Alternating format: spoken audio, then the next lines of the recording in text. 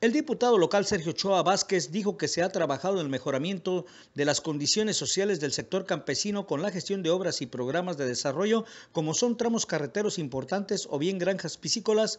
Sin embargo, los avances se perciben lentos porque es mucho lo que falta por hacer.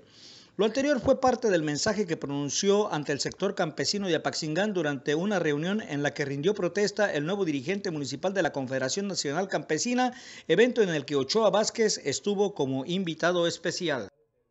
El principal fue el camino desde Apaxingán al alcalde.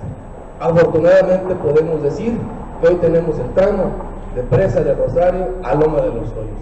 Y eso son recursos gestionados que mucho tuve que ver a través de la Secretaría de Comunicaciones y Obras Públicas del Gobierno del Estado, recursos del Gobierno del Estado, que aquí también hice un compromiso del camino que va del recreo a Rancho Seco.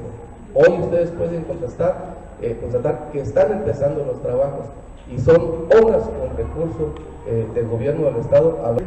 Y también logramos, hace un año, estuvimos también eh, yendo a cada una de las comunidades para organizarnos, para tener el apoyo de unas granjas este, piscícolas.